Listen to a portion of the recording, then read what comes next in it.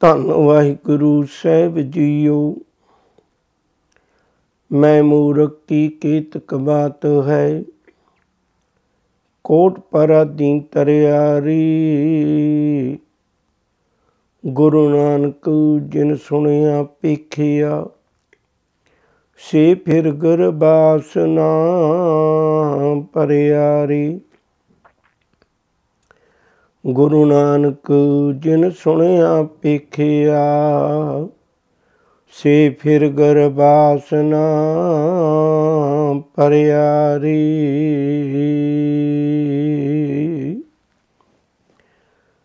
ਗੁਰੂ ਸਵਾਰਿਓ ਜੀ, ਅਦਬ ਸਤਕਾਰ ਨਾਲ ਆਖੋ ਜੀ, ਵਾਹਿਗੁਰੂ ਜੀ ਕਾ ਖਾਲਸਾ, ਵਾਹਿਗੁਰੂ ਜੀ ਕੀ ਫਤਿਹ।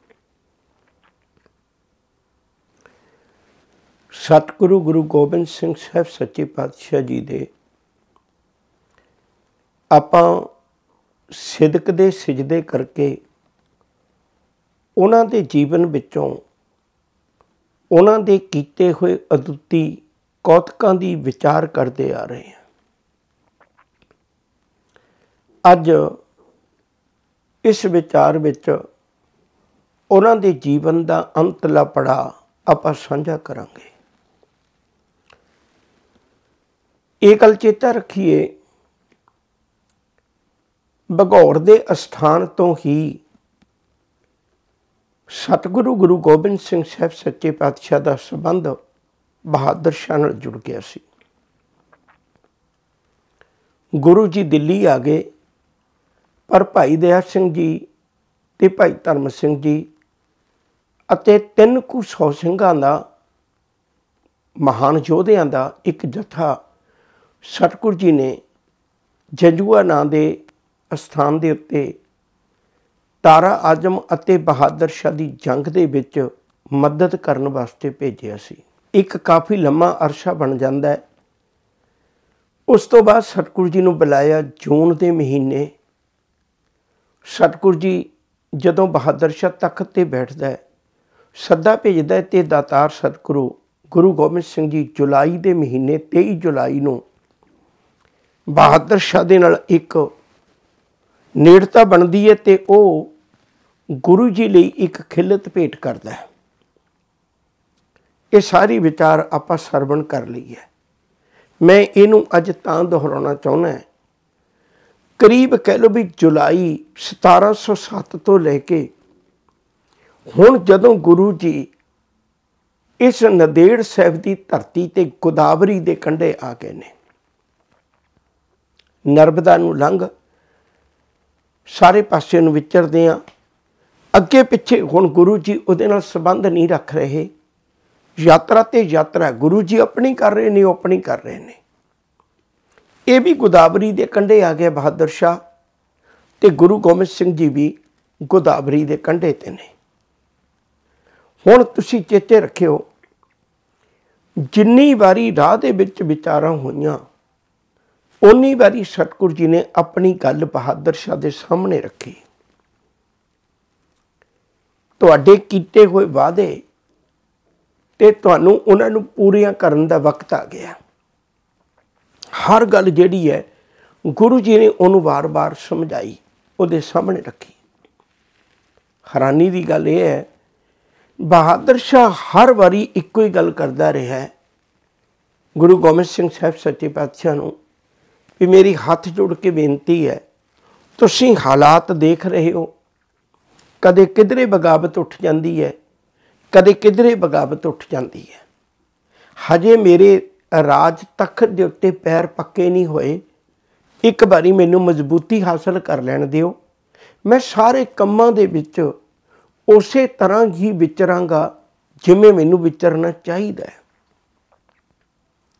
ਮੈਂ ਹਰ ਗੱਲ ਤੁਹਾਡੇ ਨਾਲ ਕੀਤੇ ਹੋਏ ਵਾਅਦੇ ਦੀ ਪੂਰਤੀ ਕਰਾਂਗਾ, ਪਰ ਮੈਨੂੰ ਥੋੜਾ ਜਿਹਾ ਸਮਾਂ ਚਾਹੀਦਾ ਹੁਣ ਯਾਦ ਰੱਖਿਓ ਜੇ, ਇਹ ਕਰੀਬ ਸਤੰਬਰ ਦਾ ਮਹੀਨਾ 1708 ਆ ਗਿਆ ਇਹ ਕਰੀਬ ਸਵਾ ਸਾਲ ਦਾ ਵਕਤ ਬਣ ਜਾਂਦਾ ਹੈ। ਗੁਰੂ ਗੋਬਿੰਦ ਸਿੰਘ ਸਾਹਿਬ ਸੱਚੇ ਪਾਤਸ਼ਾਹ ਅਤੇ ਬਹਾਦਰ ਸ਼ਾਹ ਦੇ ਇਕੱਠਿਆਂ ਜੁਲਾਈ 1707 ਤੋਂ ਆਗਰੇ ਦੀ ਧਰਤੀ ਤੋਂ ਚੱਲਣਾ ਥੋੜੇ ਥੋੜੇ ਪੜਾਅ ਕਰਦੇ ਆ।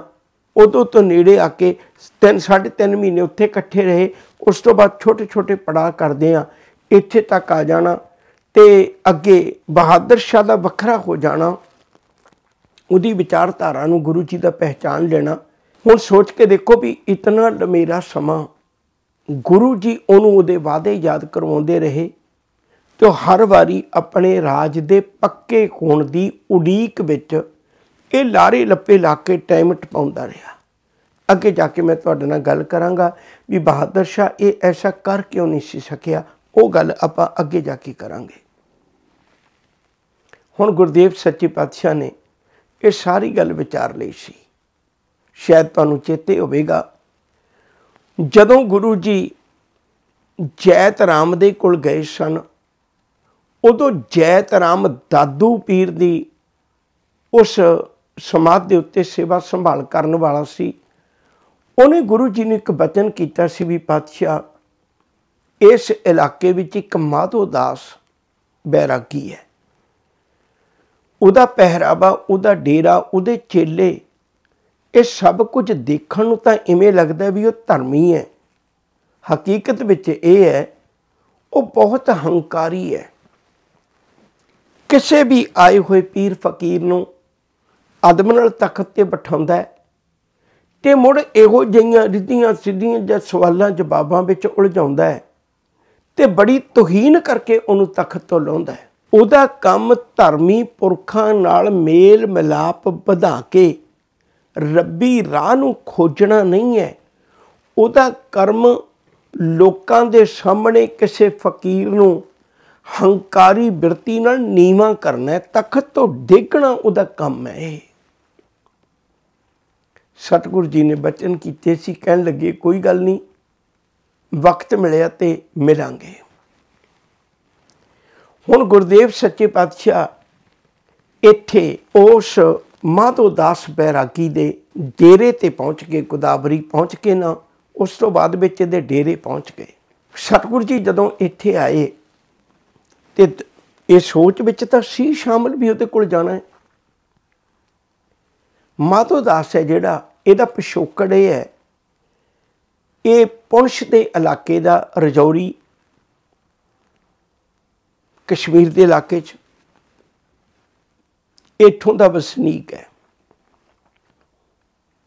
ਰਾਮ ਦੇ ਪਿਤਾ ਦਾ ਨਾਮ ਹੈ। ਤੇ ਇਹਨਾਂ ਦੇ ਘਰ ਇੱਕ ਪੁੱਤਰ ਦਾ ਜਨਮ ਹੋਇਆ। ਜਿਨ੍ਹਾਂ ਨਾਲ ਲక్ష్మణ ਦਾਸ ਰੱਖਿਆ। ਰਾਜਪੂਤ ਘਰਾਣੇ ਨਾਲ ਸੰਬੰਧਿਤ ਸੀ। ਮਾਪਿਆਂ ਦੇ ਮਨ ਵਿੱਚ ਵਿਚਾਰ ਹੈ ਕਿ ਸਾਡਾ ਪੁੱਤ ਪਰਿਵਾਰਕ ਅਤੇ ਘਰਾਣੇ ਦੀਆਂ ਲੀਹਾਂ ਤੇ ਚੱਲੇ। ਘੋੜਸਵਾਰੀ ਸਿੱਖੇ, ਹਥਿਆਰ ਚਲਾਉਣੇ ਸਿੱਖੇ। ਜੋ ਇੱਕ ਰਾਜਪੂਤਾਂ ਦੇ ਕਰਮ ਨੇ, ਉਹ ਇਹਦੇ ਵਿੱਚ ਨਿਪੁੰਨਤਾ ਹਾਸਲ ਹੋਣੀ ਚਾਹੀਦੀ ਹੈ। ਉਹਨਾਂ ਨੇ ਆਪਣੇ ਪੁੱਤ ਨੂੰ ਘੋੜਸਵਾਰੀ ਵੀ ਸਿਖਾਈ।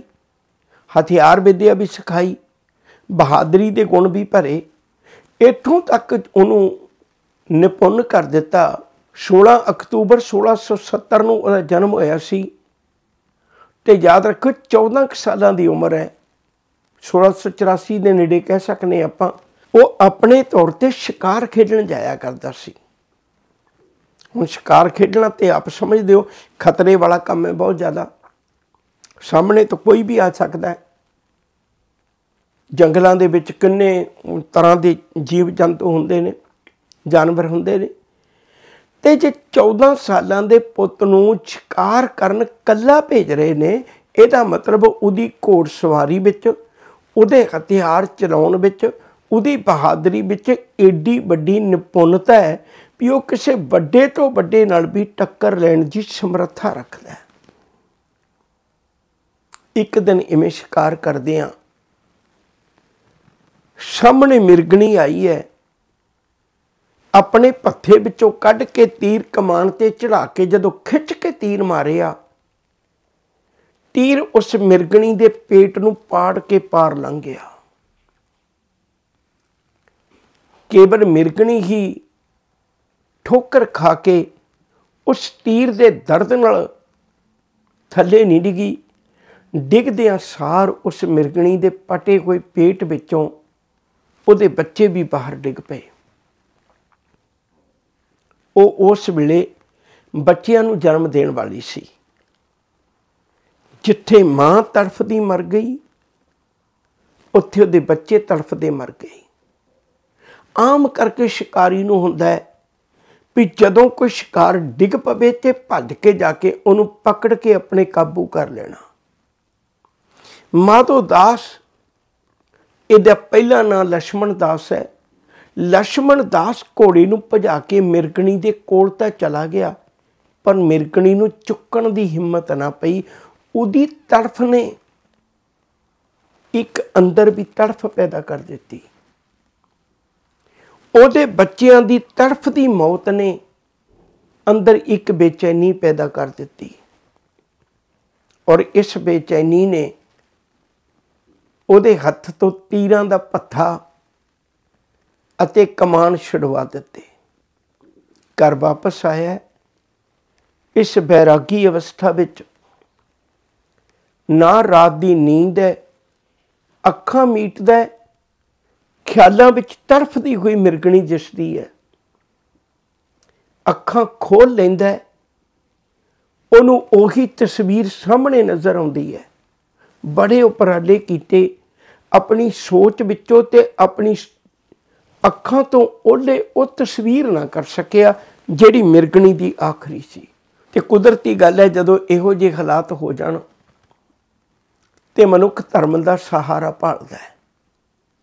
ਇਹਨਾਂ ਦਿਨਾਂ ਵਿੱਚ ਉਹਨੂੰ ਇੱਕ ਚਾਣਕੀ ਦਾਸ, ਸਾਧੂ ਮਿਲਦਾ ਹੈ। ਆਪਣੇ ਦਿਲ ਦੇ ਚੈਨ ਵਾਸਤੇ ਗਵਾਚੇ ਹੋਏ ਸਕੂਨ ਦੀ ਭਾਲ ਵਾਸਤੇ ਅੰਦਰਲੇ ਇੱਕ ਆਰਾਮ ਦੀ ਅਵਸਥਾ ਨੂੰ ਪ੍ਰਾਪਤ ਕਰਨ ਵਾਸਤੇ 14 ਕੁ ਸਾਲਾਂ ਦਾ ਲੜਕਾ ਚਾਣਕੀ ਦਾਸ ਦੇ ਪੈਰਾਂ 'ਚ ਚੜ ਗਿਆ।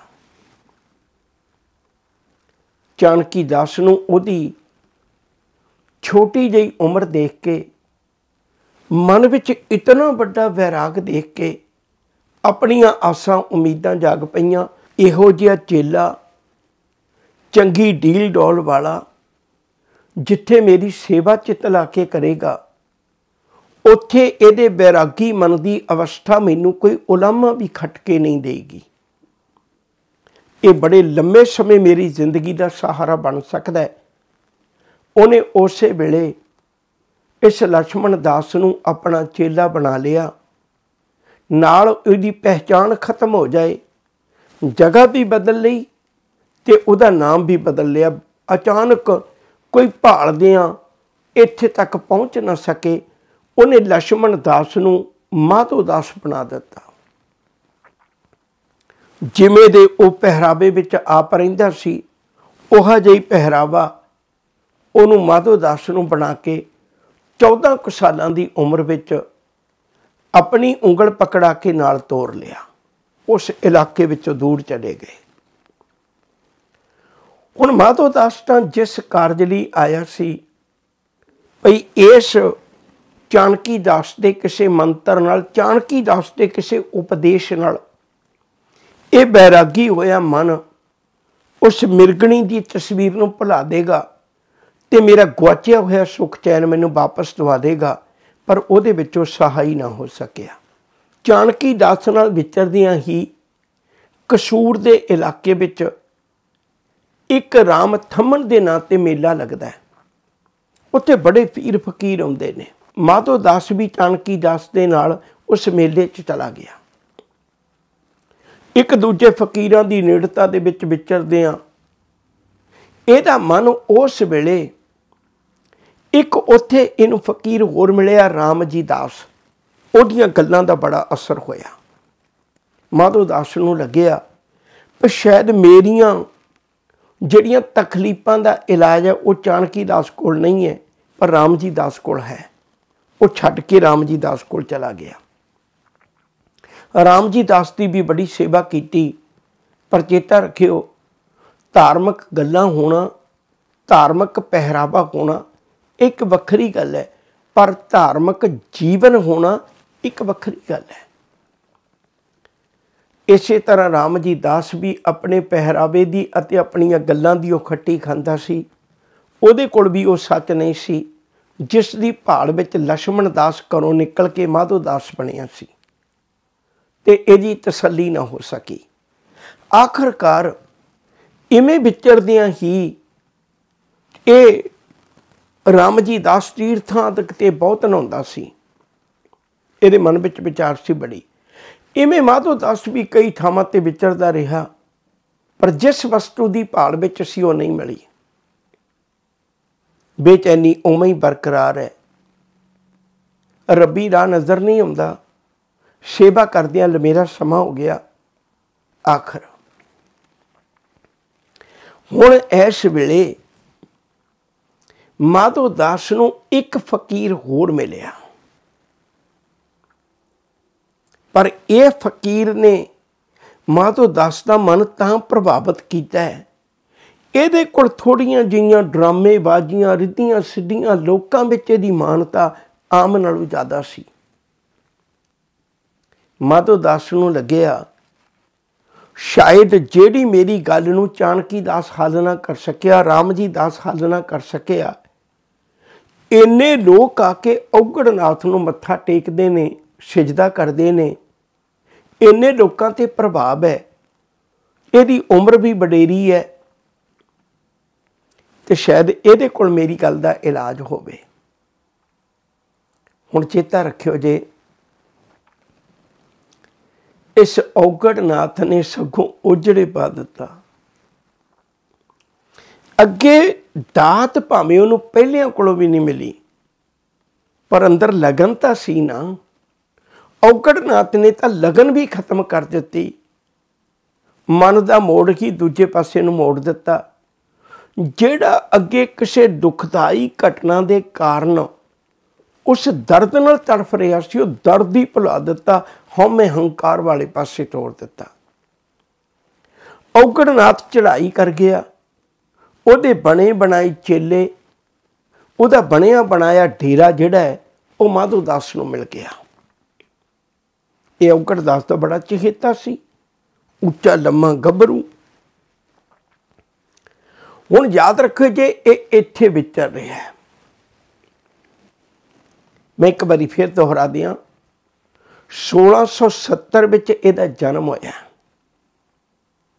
ਇਹ 1708 ਸਾਲ ਦੀ ਆਪਾਂ ਗੱਲ ਕਰ ਰਹੇ ਹਾਂ। ਸਮਝ ਲਓ, ਕਰੀਬ 38 ਕੁ ਸਾਲਾਂ ਦਾ ਇਹ ਨੌਜਵਾਨ ਮਾਧੋ ਦਾਸ ਇਹ ਗੋਦਾਵਰੀ ਦੇ ਕੰਢੇ ਦੇ ਇੱਕ ਡੇਰਾ ਬਣਾ ਕੇ ਔਗੜਨਾਥ ਦੇ ਡੇਰੇ ਵਿੱਚ ਆਪਣਾ ਠਾਠਾ ਭਾਗਾ ਚਲਾ ਰਿਹਾ ਹੈ। ਸਤਿਗੁਰੂ, ਗੁਰੂ ਗੋਬਿੰਦ ਸਿੰਘ ਸਾਹਿਬ ਸੱਚੇ ਪਾਤਸ਼ਾਹ ਇਹਦੇ ਡੇਰੇ ਚਲੇ ਗਏ। ਜਿੱਥੇ ਗੁਰੂ ਦਾ ਇਸ਼ਾਰਾ ਪਾ ਕੇ ਸਿੰਘਾਂ ਨੇ ਉਸ ਡੇਰੇ ਵਿੱਚ ਚੁਗਦੇ ਬੱਕਰੇ ਤੇ ਬੱਕਰੀਆਂ ਝਟਕਾ ਦਿੱਤੀਆਂ।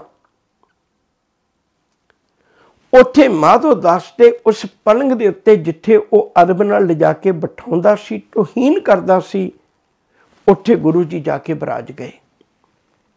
ਹੁਣ ਇਹ ਕੁਦਰਤੀ ਗੱਲ ਹੈ, ਇਹ ਅੱਜ ਵੀ ਹੈ। ਉਹਨਾਂ ਕਿਸੇ ਅਖੌਤੀ ਸਾਧ ਦੇ ਪੱਲੇ ਨਹੀਂ ਹੁੰਦਾ ਜਿੰਨੇ ਉਹਦੇ ਚੇਲੇ ਚਾਟੜੇ ਤੜਫਦੇ ਹੁੰਦੇ ਨੇ। ਬਹੁਤੀਆਂ ਲੜਾਈਆਂ ਚੇਲੇ ਚਾਟੜੀਆਂ ਦੀਆਂ ਨੇ। ਤੇ ਐਵੇਂ ਉਹਦੇ ਚੇਲੇ ਭੱਜੇ ਗਏ। ਅਨਰਥ ਹੋ ਗਿਆ ਤੇਰੇ ਡੇਰੇ ਨੂੰ ਭ੍ਰਸ਼ਟ ਕਰ ਦਿੱਤਾ ਹੈ। ਜਿੱਥੇ ਇੱਕ ਖੂਨ ਦੀ ਬੂੰਦ ਤਾਂ ਦੇਖਣੀ ਦੂਰ ਦੀ ਗੱਲ ਹੈ। ਲਾਲ ਰੰਗ ਦੇਖ ਕੇ ਮਾਤੋ ਦਸ ਤੜਫ ਜਾਂਦਾ ਸੀ।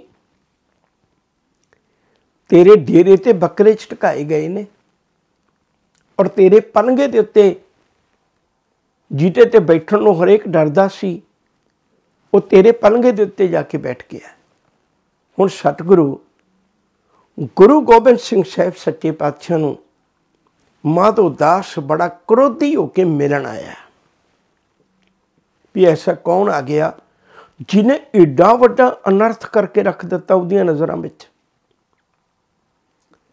ਜਦੋਂ ਸਾਹਮਣੇ ਆਇਆ ਤੇ ਅੱਖਾਂ ਚੱਖਾਂ ਪਈਆਂ। ਇੱਕ ਬੇਨਤੀ ਕਰਾਂ ਰੋਕੇ ਵਿਦਵਾਨ ਲੋਕਾਂ ਨੇ ਕਿਸੇ ਵੀ એનર્ਜੀ ਨੂੰ ਦੂਜੇ ਤੱਕ ਪਹੁੰਚਾਉਣ ਵਾਸਤੇ ਤਿੰਨ ਸਾਧਨ ਮੰਨੇ ਹੋਏ ਸਨ। ਇੱਕ ਤੇ ਪੈਰਾਂ ਤੇ ਮੱਥਾ ਟੇਕਣਾ, ਪੈਰਾਂ ਦੀਆਂ ਤਲੀਆਂ ਵਿੱਚੋਂ ਭਾਵ ਨਿਮਰਤਾ ਧਾਰਨ ਕਰਕੇ ਕੁਝ ਸਿੱਖਣ ਦੀ ਭਾਵਨਾ। ਦੂਜਾ ਧਾਰਮਿਕ ਦੁਨੀਆ 'ਚ ਬੜੀ ਮਹਾਨਤਾ ਹੈ। ਸਿਰ ਤੇ ਮਿਹਰ ਪ੍ਰਿਆਤ ਰੱਖਣਾ ਹੱਥਾਂ ਦੀਆਂ ਤਲੀਆਂ 'ਚੋਂ। ਤੀਜਾ ਪੱਖ ਸੀ, ਇਹ ਵਿਚਾਰਧਾਰਾ ਮੰਨੀ ਜਾਂਦੀ ਸੀ। ਤੀਜਾ ਪੱਖ ਸੀ, ਅੱਖਾਂ ਚੱਖਾਂ ਪਾ ਕੇ ਨਦਰ ਨਾਲ ਜੀਵਨ ਤਬਦੀਲ ਕਰ ਦੇਣਾ। ਸਤਿਗੁਰੂ ਗੁਰੂ ਗੋਬਿੰਦ ਸਿੰਘ ਸਾਹਿਬ ਸੱਚੇ ਪਾਤਸ਼ਾਹ ਦੀਆਂ ਅੱਖਾਂ ਚੱਖਾਂ ਪਈਆਂ। ਅੰਦਰ ਸੱਚਾ ਨੇ ਲਾਇਆ ਪ੍ਰੀਤਮ ਆਪਣੇ ਤਨ ਮਨ ਹੋਏ ਨਿਹਾਲ ਜਾਂ ਗੁਰਦੇਖਾਂ ਸਾਹਮਣੇ। ਹੁਣ ਜਿਹੜੀ ਆਮ ਪ੍ਰਚਲਿਤ ਵਿਚਾਰਧਾਰਾ ਹੈ, ਪ੍ਰਚਲਿਤ ਵਿਚਾਰ ਹੈ, ਉਹ ਕੁਝ ਹੋਰ ਹੈ, ਪਰ ਅਹਿਮਦ ਸ਼ਾਹ ਬਟਾਲਵੀ, ਇਹ ਬਟਾਲੇ ਦਾ ਰਹਿਣ ਵਾਲਾ ਸੀ। ਇਹਨੇ ਉਸ ਵੇਲੇ ਦੀ ਵਾਰਤਾਲਾਪ ਨੂੰ ਬੜੇ ਅਜੀਬ ਢੰਗ ਨਾਲ ਲਿਖਿਆ ਦਿਲ ਨੂੰ ਵੀ ਲੱਗਦੀ ਉਹ ਗੱਲ। ਮਾਧੋ ਦਾਸ ਪੁੱਛਦਾ ਵੀ ਤੁਸੀਂ ਕੌਣ ਹੋ? ਸਤਿਗੁਰੂ ਮਿੱਠਾ ਜਿਹਾ ਮੁਸਕਰਾ ਕੇ ਕਹਿੰਦੇ ਵੀ ਤੂੰ ਜਾਣਦਾ ਨਹੀਂ ਮੈਂ ਕੌਣ ਹੈ? ਕਹਿਣ ਲੱਗਿਆ ਨਹੀਂ? ਕਹਿੰਦੇ ਸੋਚ। ਆਖਰ ਉਹ ਪਛਾਣ ਲੈਂਦਾ ਕਹਿਣ ਲੱਗਿਆ, ਤੁਸੀਂ ਗੁਰੂ ਗੋਬਿੰਦ ਸਿੰਘ ਹੋ? ਕਿਉਂ? ਕਿਉਂਕਿ 1695 ਵਿੱਚ ਗੁਰੂ ਗੋਬਿੰਦ ਸਿੰਘ ਜੀ ਜਦੋਂ ਹਰਦੁਆਰ, ਰਿਸ਼ੀਕੇਸ਼, ਦੇਹਰਾਦੂਨ ਇਤਿਆਦਿਕ ਕਨਖਲ ਇਸ ਇਲਾਕੇ ਵਿੱਚ ਪ੍ਰਚਾਰ ਕਰਦੇ ਸਨ ਤੇ ਕਨਖਲ ਦੇ ਇਲਾਕੇ 'ਚ ਇੱਕ ਸਾਧੂ ਰੂਪ 'ਚ ਗੁਰੂ ਗੋਬਿੰਦ ਸਿੰਘ ਸੱਚੇ ਪਾਤਸ਼ਾਹ ਦਾ ਮੇਲ ਮਿਲਾਪ ਬਾਬਾ ਬੰਦਾ ਬਹਾਦਰ ਨਾਲ ਹੋਇਆ ਸੀ। ਪਰ ਉਦੋਂ ਮੇਲ ਮਿਲਾਪ ਥੋੜਾ ਸੀ। ਦੂਜਾ ਬੰਦੇ ਬਹਾਦਰ ਦੇ ਮਨ ਵਿੱਚ ਤਾਂ ਇਹ ਭਾਵਨਾ ਸੀ, ਹਥਿਆਰਾਂ ਤੋਂ ਡਰਦਾ ਤਾਂ ਭੱਜ ਕੇ ਬੈਰਾਗੀ ਬਣਿਆ ਸੀ।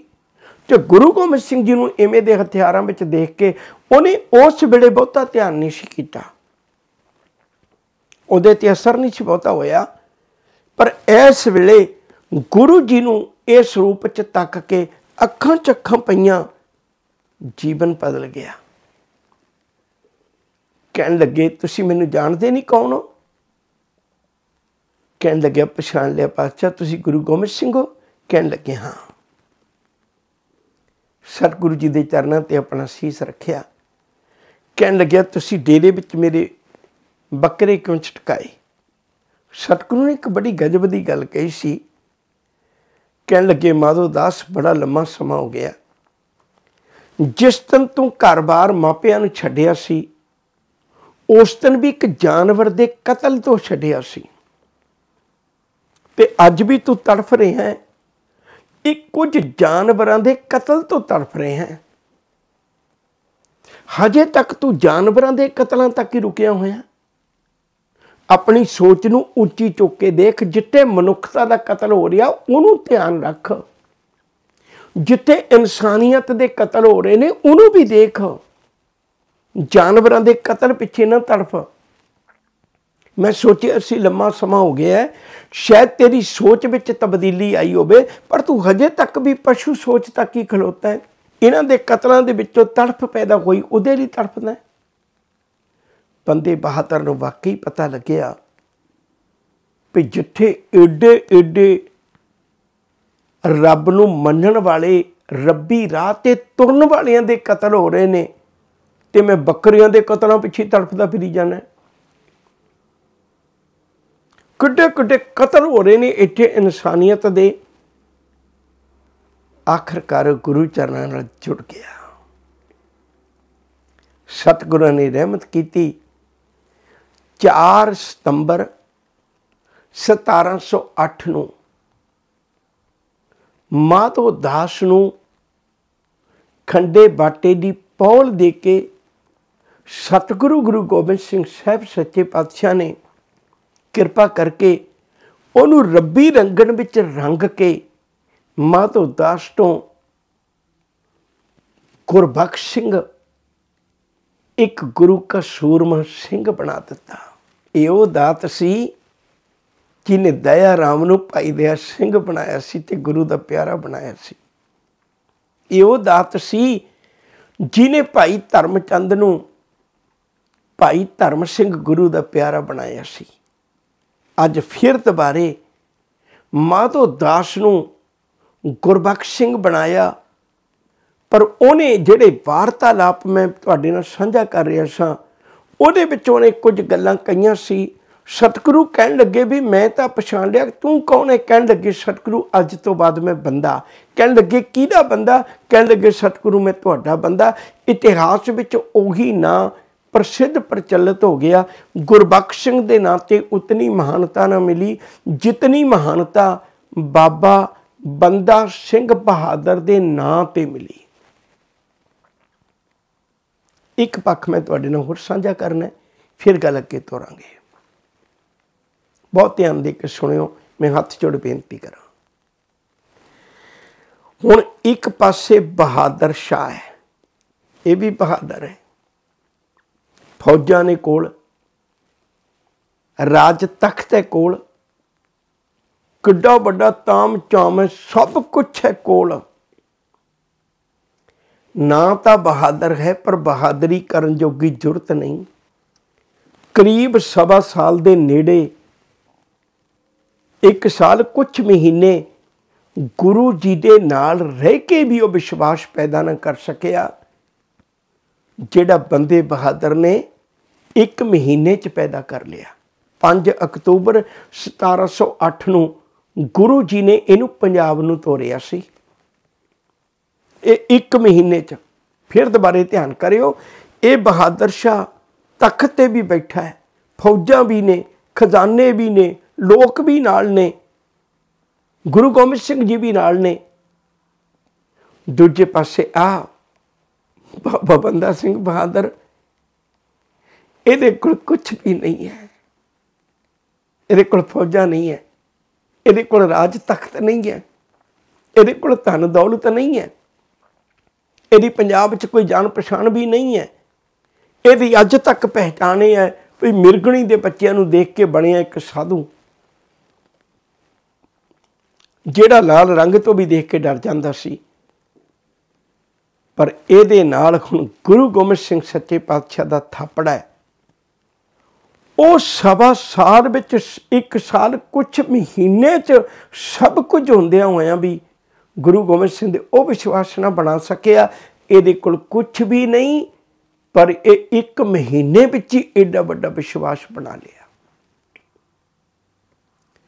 ਗੁਰੂ ਜੀ ਨੇ ਬਹਾਦਰ ਸ਼ਾਹ ਨੂੰ ਵੀ ਇਹ ਗੱਲ ਕਹੀ ਸੀ, ਕਹਿਣ ਲੱਗੇ, ਸਜਣਾ, ਜਦੋਂ ਤੇਰੇ ਵਰਗੇ ਬਹਾਦਰ ਸ਼ਾਹ ਬਹਾਦਰੀ ਨਾ ਨਾ ਦਿਖਾਉਣ ਤੇ ਫਿਰ ਹੁਣ ਅਸੀਂ ਬਹਾਦਰ ਬਣਾਵਾਂਗੇ। ਜਿਹੜਾ ਸਾਡਾ ਬਣਾਇਆ ਹੋਇਆ ਬਹਾਦਰ ਹੋਵੇਗਾ ਨਾ, ਉਹ ਬਹਾਦਰ ਸ਼ਾਹ ਤੈਨੂੰ ਵੀ ਵਕਤ ਪਾ ਦੇਗਾ।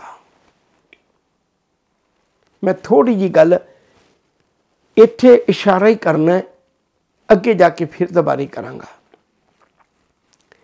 ਜਿਹੜੇ ਗੁਰੂ ਜੀ ਨੇ ਬਚਨ ਕਹੇ ਸਨ ਜਦੋਂ ਛੋਟੇ ਸਹਿਬਜ਼ਾਦਿਆਂ ਦੀ ਸ਼ਹਾਦਤ ਦਾ ਪਤਾ ਲੱਗਿਆ ਸੀ, ਨੂਰੇ ਮਾਹੀ ਨੇ ਆ ਕੇ ਜਦੋਂ ਗੁਰੂ ਜੀ ਨੂੰ ਆ ਕੇ ਦੱਸਿਆ ਸੀ ਨਾ ਵੀ ਪੁੱਤਰਾਂ ਨੂੰ ਸ਼ਹੀਦ ਕਰ ਦਿੱਤਾ ਮਾਂ ਗੁਜਰ ਕੌਰ ਨੂੰ ਸ਼ਹੀਦ ਕਰ ਦਿੱਤਾ ਤਾਂ ਉਹਨਾਂ ਨੇ ਕਾਗੀ ਦਾ ਬੂਟਾ ਪੁੱਟ ਕੇ ਕਿਹਾ ਸੀ, ਅੱਜ ਤੋਂ ਜ਼ੁਲਮ ਦੀ ਜੜ ਪੁੱਟੀ ਜਾਏਗੀ, ਇਹਨਾਂ ਜ਼ਾਲਮਾਂ ਦੀ ਜੜ ਪੁੱਟੀ ਜਾਏਗੀ। ਯਾਦ ਰੱਖੋ ਜ਼ਿੰਦਗੀ ਦੇ ਤਿੰਨ ਪੱਖ ਹੋਇਆ ਕਰਦੇ ਨੇ। ਇੱਕ ਮਨ ਕਰਕੇ, ਦੂਜਾ ਬਚਨਾ ਕਰਕੇ, ਤੀਜਾ ਕਰਮਾ ਕਰਕੇ। ਮਨ ਕਰਕੇ ਤਾਂ ਗੁਰੂ ਜੀ ਕਦੋਂ ਦੇ ਜ਼ਾਲਮਾਂ ਦੀ ਜੜ ਪੁੱਟਣ ਤੇ ਲੱਗੇ ਹੋਏ ਸਨ? ਬਚਨਾ ਕਰਕੇ ਗੁਰੂ ਜੀ ਨੇ ਕਾਹੀ ਦਾ ਬੂਟਾ ਪੁੱਟ ਕੇ ਦਿਖਾਤਾ ਸੀ। ਇਹ ਬਚਨਾ ਕਰਕੇ ਸੀ। ਪਰ ਮਨ ਤੇ ਬਚਨਾ ਕਰਕੇ ਰੁਕੇ ਨਹੀਂ ਸੀ। ਉਹ ਜਿਹੜਾ ਕਾਹੀ ਦਾ ਬੂਟਾ ਪੁੱਟਿਆ, ਉਹਨੂੰ ਕਰਮ ਰੂਪ ਵਿੱਚ ਵੀ ਬਦਲਣਾ ਸੀ। ਕੇਵਲ ਕਹਿ ਕੇ ਗੱਲ ਨਹੀਂ ਬਣ ਜਾਣੀ। ਅੱਜ ਵੀ ਕੌਮ ਨੂੰ ਇਸ ਗੱਲ ਲਈ ਬਹੁਤ ਸੁਚੇਤ ਹੋਣਾ ਚਾਹੀਦਾ ਵੀ ਮੈਂ ਉਸ ਕਰਮ ਨੂੰ ਕਮਾਉਣਾ ਹੈ। ਮੈਂ ਉਹ ਕਰਮ ਵੀ ਕਮਾਉਣਾ ਹੈ। ਗੁਰੂ ਜੀ ਨੇ ਜਿੱਥੇ ਜ਼ੁਲਮਾਂ ਦੀ, ਜ਼ਾਲਮਾਂ ਦੀ ਜੜ ਪੁੱਟਣ ਵਾਸਤੇ ਮਨ ਵਿਚਾਰ ਬਣਾ ਕੇ ਸਿੱਧੇ ਰਾਹ ਤੇ ਤੁਰਦੇ ਆ ਸਾਰਾ ਸਰਬੰਸ ਹੀ ਬਾਰ ਦਿੱਤਾ। ਦੂਜੇ ਪਾਸੇ ਯਾਦ ਰੱਖਿਓ, ਜੇ ਉੱਥੇ ਕਾਗੀ ਦਾ ਬੂਟਾ ਪੁੱਟਿਆ, ਕਾਗੀ ਦਾ ਬੂਟਾ ਪੁੱਟ ਕੇ ਹੀ ਨਹੀਂ ਸੋਚ ਲਿਆ ਵੀ ਹੁਣ ਜ਼ੁਲਮ ਦੀ ਹੱਦ ਹੋ ਜਾਏਗੀ, ਇਹਦਾ ਅੰਤ ਹੋ ਜਾਏਗਾ, ਜ਼ਾਲਮਾਂ ਦਾ ਖਾਤਮਾ ਹੋ ਜਾਏਗਾ। ਨਹੀਂ, ਗੁਰੂ ਜੀ ਨੇ ਉਸ ਖਾਤਮਾ ਕਰਨ ਵਾਸਤੇ ਬਾਬੇ ਬੰਦੇ ਬਹਾਦਰ ਨੂੰ ਚੁਣ ਕੇ ਬਹਾਦਰੀ ਦੇ ਗੁਣ ਭਰ ਕੇ ਭੇਜਣ ਲੱਗੇ ਨੇ। ਅਸੀਂ ਇਹ ਗੱਲ ਨੂੰ ਕਦੇ ਸੋਚ ਨਹੀਂ ਪਾਉਂਦੇ। ਕਿੰਨਾ ਸਮਾਂ ਹੋ ਗਿਆ ਸਾਨੂੰ ਕਦੇ ਦਰਬਾਰ ਸਾਹਿਬ ਤੇ ਹੋਏ ਹਮਲੇ, ਅਕਾਲ ਤਖਤ ਸਾਹਿਬ ਤੇ ਹੋਏ ਹਮਲਿਆਂ ਦਾ ਇਨਸਾਫ ਮੰਗਦੇ ਫਿਰਦੇ ਆ ਕਦੇ 1984 ਵਿੱਚ ਹੋਏ ਦਿੱਲੀ ਦੇ ਕਤਲੇਆਮ ਲਈ ਇਨਸਾਫ ਮੰਗਦੇ ਫਿਰ ਰਹੇ ਆ ਜਦੋਂ ਇਨਸਾਫ ਨਾ ਮਿਲੇ, ਫਿਰ ਉਦੋਂ ਆਪਣਾ ਆਪਾ ਤਿਆਰ ਕਰਕੇ ਖੜਾ ਕਰਨਾ ਪੈਂਦਾ ਹੈ। ਉਹਦੇ ਬਰਾਬਰ ਸਿਸਟਮ ਬਣਾਉਣਾ ਪੈਂਦਾ ਅੱਜ ਲੋੜ ਹੈ ਇਸ ਗੱਲ ਦੀ, ਕਿੰਨਾ ਲੰਮਾ ਸਮਾਂ ਹੋ ਗਿਆ ਸਾਨੂੰ ਤਰਲੇ ਜੇ ਕਰਦੇ ਆ ਕਿਤੇ ਅੱਜ ਵੀ ਮਿੱਕੇ ਦੁਨੀਆ 'ਚ ਪ੍ਰਗਟ ਕਰ ਸਕਣ। ਕੇਵਲ ਸਿੱਖ ਕੌਮ ਦੇ ਲਈ ਹੀ ਇਨਸਾਫ ਦੀ ਗੱਲ ਨਹੀਂ, ਉਹ ਸਮੁੱਚੇ ਸਿਸਟਮ ਦੇ ਵਿੱਚ ਇੱਕ ਇਨਸਾਫ ਦੀ ਆਵਾਜ਼ ਬਣ ਕੇ ਗੁਰੂ ਨਾਨਕ ਦਾ ਸਿੱਖ, ਗੁਰੂ ਗੋਬਿੰਦ ਸਿੰਘ ਦਾ ਸਿੱਖ ਜਦੋਂ ਉਹਨਾਂ ਕੁਰਸੀਆਂ ਤੇ ਬੈਠੇਗਾ, ਯਕੀਨ ਕਰਕੇ ਜਾਣਿਓ ਉਹ ਰਾਜ ਨੂੰ ਬੇਗਮਪੁਰਾ ਸ਼ਹਿਰ ਕੋ ਰਾਜ ਕਵਾਂਗੇ, ਉਸ ਨੂੰ ਹਲੇਮੀ ਰਾਜ ਕਵਾਂਗੇ, ਉਹ ਇਹੋ ਜਿਹਾ ਰਾਜ ਪੈਦਾ ਹੋ ਜਾਏਗਾ। ਅਸੀਂ ਇਤਿਹਾਸ ਦੇ ਪੰਨਿਆਂ ਤੋਂ ਸਿੱਖਣਾ ਹੈ। ਗੁਰੂ ਗੋਬਿੰਦ ਸਿੰਘ ਜੀ ਨੇ ਬਾਬਾ ਬੰਦਾ ਸਿੰਘ ਬਹਾਦਰ ਨੂੰ ਭੇਜਿਆ, ਭਈ ਲੈ ਸਜਣਾ ਬਹਾਦਰ ਸ਼ਾਹ, ਜੇ ਤੂੰ ਇਨਸਾਫ ਨਹੀਂ ਕਰਦਾ, ਤਾਂ ਹੁਣ ਮੈਂ ਆਪਣਾ ਬਹਾਦਰ ਭੇਜਣ ਲੱਗਾ ਇਹ ਗੱਲ ਚੇਤਾ ਰੱਖਿਓ, ਮੈਂ ਬਾਰ-ਬਾਰ ਬੇਨਤੀ ਕਰਾਂ ਉਹਨੇ ਸਿਰਫ ਤੇ ਸਿਰਫ ਸਿੱਖਾਂ ਲਈ ਕੁਝ ਨਹੀਂ ਕੀਤਾ। ਜਿਨ੍ਹਾਂ ਜ਼ਿਮੀਂਦਾਰਾਂ ਦੀਆਂ ਜ਼ਮੀਨਾਂ, ਉਹਨਾਂ ਲੰਮਾ ਸਮਾਂ ਹੋ ਗਿਆ ਸੀ ਜ਼ਮੀਨਾਂ ਵਾਹੁੰਦੇ ਆ ਪਰ ਹਾਕਮ ਉਹਨਾਂ ਦਾ ਲਹੂ ਪੀਂਦੇ ਸਨ। ਉਹਨਾਂ ਦੀਆਂ ਜ਼ਮੀਨਾਂ ਦਵਾਈਆਂ ਗਰੀਬ ਲੋਕਾਂ ਦੀ ਬਾਹ ਪਕੜੀ, ਇਨਸਾਫ ਕਰਵਾਏ। ਕਿੰਨੀ ਲੰਮੀ ਲੜੀ ਹੈ ਬਾਬਾ ਬੰਦਾ ਸਿੰਘ ਬਹਾਦਰ ਦੇ ਬਾਰੇ ਚ, ਜਿਹੜੀ 1700 ਤੋਂ 1800 ਤੱਕ ਕੀਤੀ ਹੋਈ ਕਥਾ ਵਿਚਾਰ ਹੈ। 10 ਵੱਲੋਂ ਉਹਦੇ ਵਿੱਚ ਜਾ ਕੇ ਤੁਸੀਂ ਸਾਰੀ ਸੁਣ ਸਕਦੇ ਹੋ। ਮੈਂ ਇੱਥੇ ਇਸ਼ਾਰੇ ਮਾਤਰ ਹੀ ਬੇਨਤੀ ਕਰਕੇ ਵਾਪਸ ਗੁਰੂ ਗੋਬਿੰਦ ਸਿੰਘ ਜੀ ਦੇ ਚਰਨਾਂ ਵਿੱਚ ਆਉਣਾ ਚਾਹੁੰਦਾ ਸਤਿਗੁਰੂ ਜੀ ਨੇ ਕਿੱਡੀ ਕਮਾਲ ਕੀਤੀ। ਇਹ ਗੁਰੂ ਦੇ ਸਾਜੇ ਹੋਏ ਬੰਦੇ ਨੇ, ਗੁਰੂ ਦੇ ਸਾਜੇ ਹੋਏ ਬਹਾਦਰ ਨੇ ਬਹਾਦਰ ਸ਼ਾਹ ਨੂੰ ਵੀ ਵਿਪਤਾ ਪਾ ਦਿੱਤੀ। ਇੱਕ ਬੇਨਤੀ ਹੋਰ ਕਰਦੇ ਆ ਪਤਾ ਨਹੀਂ ਬਹਾਦਰ ਸ਼ਾਹ ਨੂੰ ਕਿਉਂ ਨਹੀਂ ਵਿਸ਼ਵਾਸ ਬਣ ਪਾਇਆ। ਗੁਰੂ ਦੀ ਤਾਂ ਇੱਕ ਨਜ਼ਰ ਉਹ ਸੀ, ਜਿਹੜੀ ਦਿੱਲੀ ਤੋਂ ਭੇਜੇ ਹੋਏ ਜਰਨੈਲਾਂ ਨੂੰ ਮੇਰ ਦੀ ਨਜ਼ਰ ਵਿੱਚ ਰੰਗ ਕੇ ਫਕੀਰ ਬਣਾ ਦਿੰਦੀ ਸੀ। ਅੱਜ ਗੁਰੂ ਦੀ ਮਿਹਰ ਭਰੀ ਨਜ਼ਰ ਨੇ ਇੱਕ ਡੇਰਾ ਬਣਾ ਕੇ ਬੈਠੇ ਫਕੀਰ ਨੂੰ ਜਰਨੈਲ ਬਣਾ ਦਿੱਤਾ। ਉਹ ਕੈਸੀ ਕਮਾਲ ਦੀ ਦਾਤ ਹੈ ਮੇਰੇ ਗੁਰੂ ਗੋਬਿੰਦ ਸਿੰਘ ਸੱਚੇ ਪਾਤਸ਼ਾਹ ਦੀ। ਪੱਟਾਂ ਦੇ ਇੱਕ ਬਚਨ ਯਾਦ ਆ ਜਾਂਦਾ ਹੈ। ਅਮੇ ਦ੍ਰਿਸ਼ਟ ਸ਼ੁਭ ਕਰੇ। ਹਰੇ ਅਗ ਪਾਪ ਸਕਲ ਮਲ, ਕਾਮ ਕ੍ਰੋਧ ਅਰ ਲੋਭ ਮੋਹ, ਬਸ ਕਰੇ ਸਭੇ ਬਲ। ਸਦਾ ਸੁਖ ਮਨ ਬਸੈ ਦੁਖ ਸੰਸਾਰੇ ਖੋਵੇ, ਗੁਰ ਨਵ ਨਿਦ ਦਰਿਆਉ ਜਨਮ ਹਮ ਕਾਲਕ ਤੋਵੇ ਸੋ ਕੋ ਟਲ ਗੁਰ ਸੇਵੀਐ, ਐਨ ਸਹਿ ਸੁਭਾਏ, ਦਰਸ਼ਨ ਪਰਸੇ ਗੁਰੂ ਕੈ, ਜਨਮ ਮਰਨ ਦੁਖ ਜਾਏ। ਇਤਿਹਾਸ ਦੇ ਪੰਨਿਆਂ ਤੇ ਇੱਕ ਕਲੰਕ ਲੱਗਿਆ ਰਹਿ ਜਾਣਾ ਸੀ। ਜੇ ਕਿਤੇ ਗੁਰੂ ਗੋਬਿੰਦ ਸਿੰਘ ਆ ਵਰਤਾਰਾ ਨਾ ਵਰਤਾਉਂਦੇ।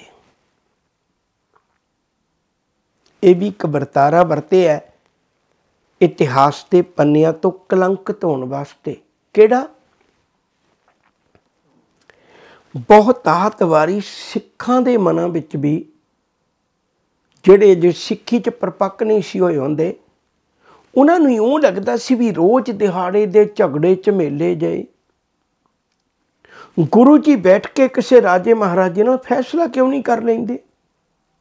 ਜੈਤਰਾਮ ਵਰਗਿਆਂ ਦੇ ਹੋਰਾਂ ਕਈਆਂ ਲੋਕਾਂ ਦੇ ਮਨਾਂ ਵਿੱਚ ਸ਼ੰਕੇ ਸਨ ਵੀ ਗੁਰੂ ਜੀ ਵਕਤ ਦੇ ਰਾਜੇ ਨਾਲ ਬੈਠ ਕੇ ਗੱਲਾਂ ਕਿਉਂ ਨਹੀਂ ਕਰ ਲੈਂਦੇ, ਵਿਚਾਰ ਕਿਉਂ ਨਹੀਂ ਕਰ ਲੈਂਦੇ?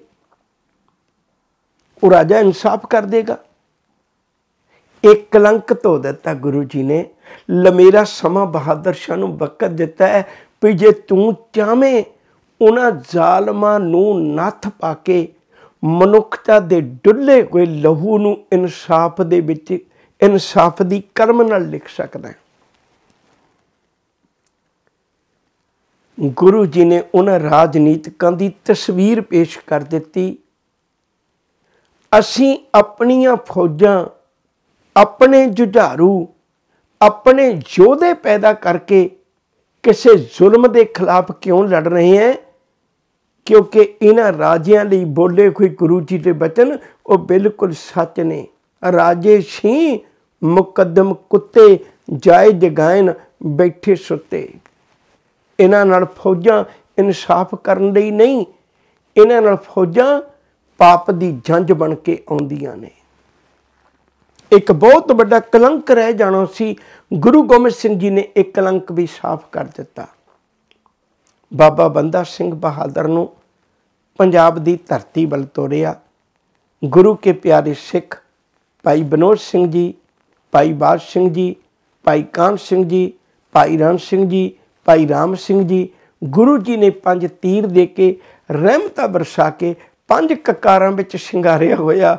ਉਹ ਬਾਬਾ ਬੰਦਾ ਸਿੰਘ ਬਹਾਦਰ ਖਾਲਸੇ ਦਾ ਰੂਪ ਬਣ ਕੇ ਗੁਰੂ ਜੀ ਦੇ ਦਿੱਤੇ ਹੋਏ, ਦੱਸੇ ਹੋਏ ਹਦਾਇਤਾਂ ਨੂੰ, ਗੁਰੂ ਜੀ ਦੇ ਦੱਸੇ ਹੋਏ ਉਪਦੇਸ਼ਾਂ ਨੂੰ ਕਮਾਉਣ ਲਈ ਪੰਜਾਬ ਦੀ ਧਰਤੀ ਵੱਲ ਨੂੰ ਤੁਰਿਆ।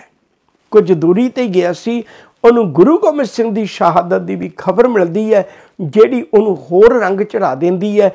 ਬੰਦਾ ਸਿੰਘ ਬਹਾਦਰ ਗੁਰੂ ਦੇ ਸਰੀਰ ਵੱਲ ਨੂੰ ਨਹੀਂ ਮੁੜਿਆ। ਪਤਾ ਉਹਨੂੰ ਰਾਹ 'ਚ ਹੀ ਲੱਗ ਜਾਣਾ ਗੁਰੂ ਗੋਬਿੰਦ ਸਿੰਘ ਜੀ ਦਾ।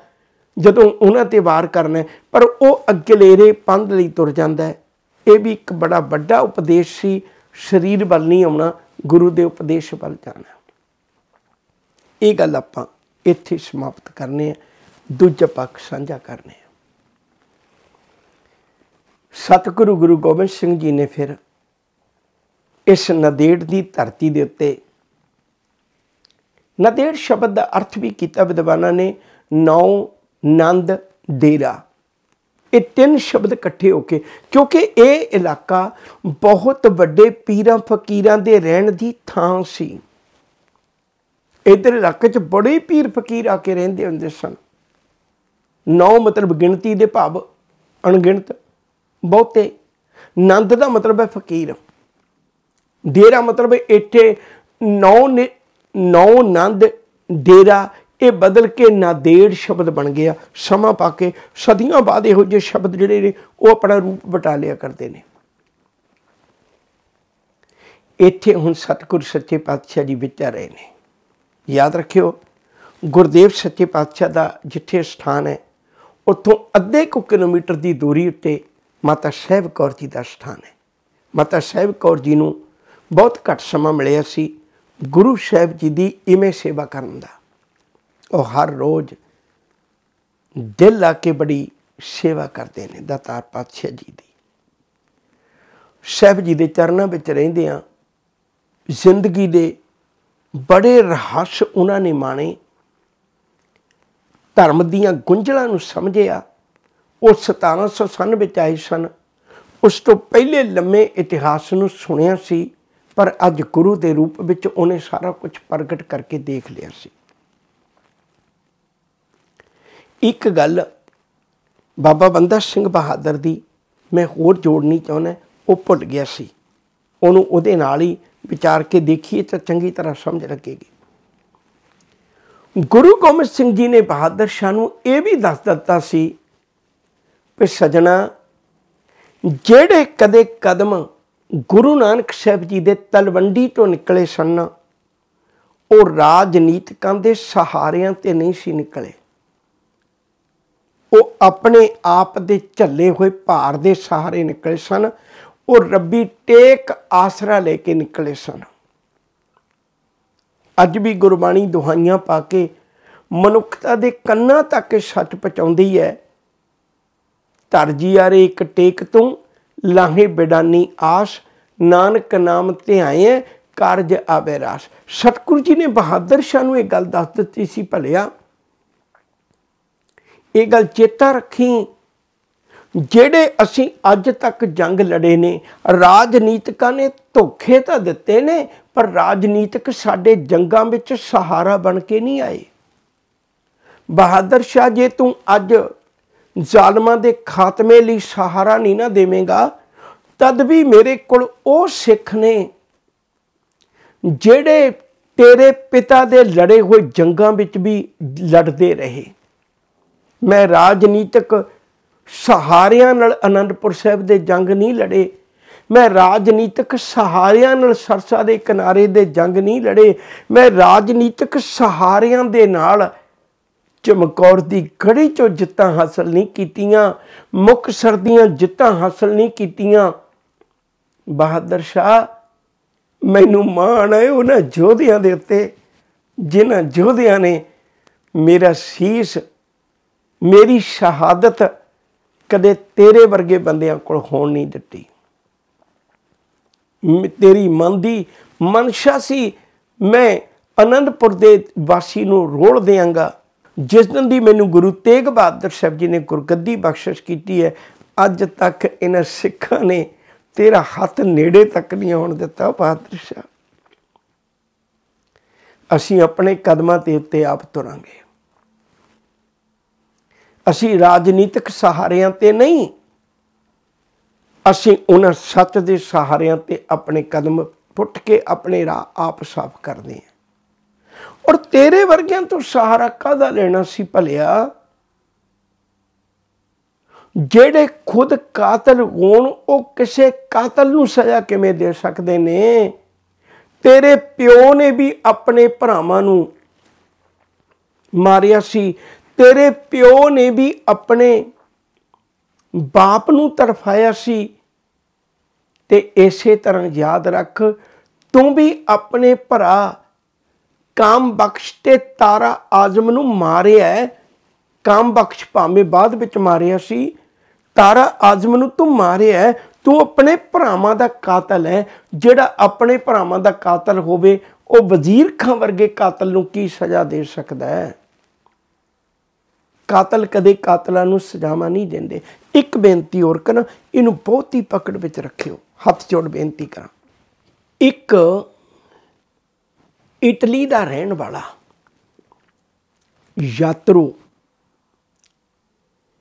ਨਿਕੋਲਾਓ ਮਨੁੱਚੀ ਨਿਕੋਲਾਓ ਮਨੁੱਚੀ, ਇਹ 1656 ਵਿੱਚ ਇੰਡੀਆ ਆਇਆ ਸੀ। 1717 ਸਨ ਤੱਕ ਇਹ ਇੰਡੀਆ ਚ ਰਿਹਾ ਬੜੀ ਪਕੜ ਵਾਲੀ ਬਾਤ ਹੈ ਇਸ ਗੱਲ ਨੂੰ। ਇਹਦਾ ਜ਼ਿਕਰ ਕੀਤਾ ਹੋਇਆ ਬਹੁਤ ਸੋਹਣਾ, ਬੜਾ ਵਧੀਆ। ਨਰਿੰਜਨ ਸਿੰਘ ਸਾਥੀ ਨੇ ਕਿਤਾਬ ਦਾ ਨਾਮ ਹੈ, ਚਰਨ ਚਲੋ ਮਾਰੂ ਗੋਬਿੰਦ। ਉਹ ਲਿਖਦੇ ਨੇ ਵੀ ਇਹ ਜਿਹੜਾ ਯਾਤਰੀ ਆਇਆ ਸੀ, ਇਹ ਮੇਰਾ ਸਮਾਂ ਇੱਥੇ ਹੀ ਰਿਹਾ ਮੈਂ ਮਨੁੱਚੀ ਕਹਿ ਕੇ ਗੱਲ ਕਰਾਂਗੇ, ਇਹਦੇ ਨਾਂ ਬੜੇ ਔਖੇ ਜਿਹੇ ਹੁੰਦੇ ਨੇ। ਉਹਨੇ ਇੱਕ ਕਿਤਾਬ ਲਿਖੀ ਹੈ, ਮੁਗਲ ਇੰਡੀਆ। ਉਹਦਾ ਇੰਗਲਿਸ਼ ਵਿੱਚ ਤਰਜਮਾ ਕੀਤਾ ਹੈ, ਮੁਗਲ ਇੰਡੀਆ। ਉਹਨੇ ਚਾਰ ਭਾਗਾਂ 'ਚ ਕਿਤਾਬ ਲਿਖੀ ਹੈ। ਆਪਾਂ ਉਹਦੇ ਤੋਂ ਨਿਰੰਜਨ ਸਿੰਘ ਸਾਥੀ ਦੇ ਰੈਫਰੈਂਸ ਅਨੁਸਾਰ ਹੀ ਮੈਂ ਤੁਹਾਡੇ ਨਾਲ ਗੱਲ ਸਾਂਝੀ ਕਰ ਰਿਹਾ। ਉਹਨੇ ਇੱਕ ਗੱਲ ਲਿਖੀ ਬੜੀ ਕਮਾਲ ਦੀ। ਉਹ ਕਹਿਣ ਲੱਗੇ ਇਹਨਾਂ ਮੁਗਲ ਰਾਜ ਦੇ ਵਿੱਚ ਔਰੰਗਜ਼ੇਬ ਵੀ, ਬਹਾਦਰ ਸ਼ਾਹ ਵੀ ਇਹ ਲੋਕ ਵਾਦਾ ਕਰਨਾ ਤਾਂ ਜਾਣਦੇ ਆ ਵਾਦਾ ਨਿਭਾਉਣਾ ਨਹੀਂ ਜਾਣਦੇ। ਇਹਨਾਂ ਨੇ ਕਦੇ ਕੀਤੇ ਵਾਦੇ ਨਿਭਾਏ ਨਹੀਂ ਹੈ ਉਹਦੀ ਗੱਲ ਇਹ ਬੜੀ ਪਾਏਦਾਰ ਲੱਗੀ ਮੈਨੂੰ। ਵਾਕਈ ਇਹਨਾਂ ਨੇ ਵਾਦੇ ਕੀਤੇ ਪਰ ਨਿਭਾਏ ਨਹੀਂ।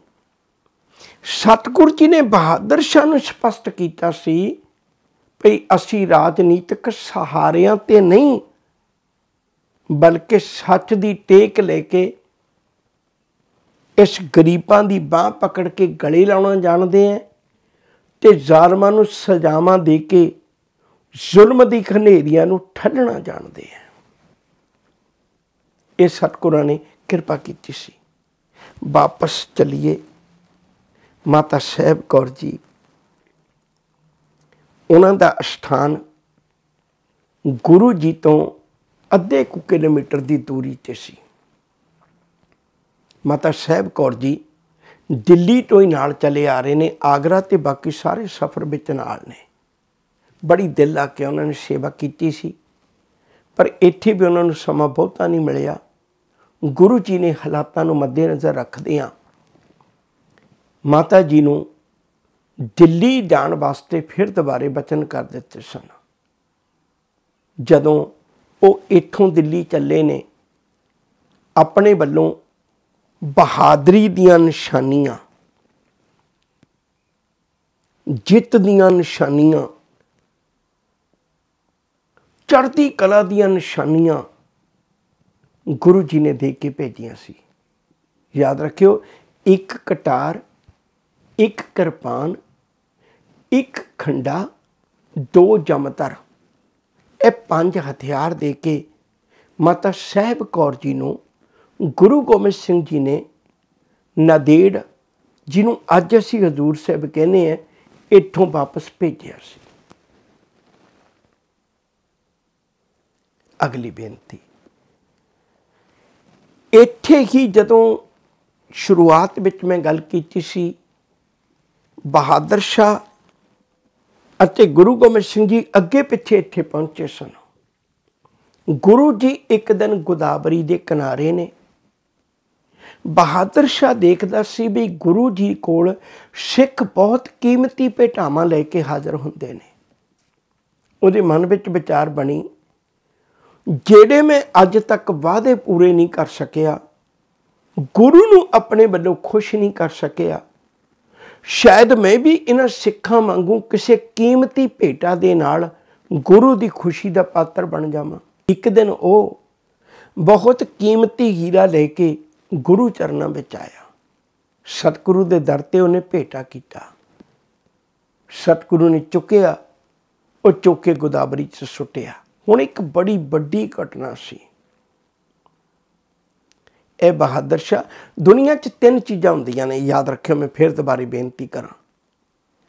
ਇੱਕ ਹੁੰਦੀ ਹੈ, ਜਿਹਨੂੰ ਆਪਾਂ ਕਹਿੰਦੇ ਮੈਨ ਪਾਵਰ ਬੰਦਿਆਂ ਦੀ ਤਾਕਤ। ਦੂਜੀ ਹੁੰਦੀ ਹੈ ਮਨੀ ਪਾਵਰ ਜਿਹਨੂੰ ਪੈਸੇ ਦੀ ਤਾਕਤ ਕਹਿੰਦੇ ਆ। ਤੀਜੀ ਹੁੰਦੀ ਹੈ ਅਧਿਆਤਮਕ ਤਾਕਤ, ਜਿਹਨੂੰ ਰਾਜਨੀਤਿਕ ਤਾਕਤ ਵੀ ਕਹਿ ਸਕਨੇ ਆ। ਗੁਰੂ ਜੀ ਨੇ ਸਪਸ਼ਟ ਕਰ ਦਿੱਤਾ, ਸਾਨੂੰ ਤੇਰੇ ਵਰਗਿਆਂ ਦੇ ਹੀਰਿਆਂ ਦੀ ਲੋੜ ਨਹੀਂ। ਗੁਰੂ ਘਰ ਦੀ ਆਪਣੀ ਹੀ ਇੱਕ ਮਨੀ ਪਾਵਰ ਹੈ। ਮਨੀ ਪਾਵਰ ਹੈ ਗੁਰੂ ਕੋਲ।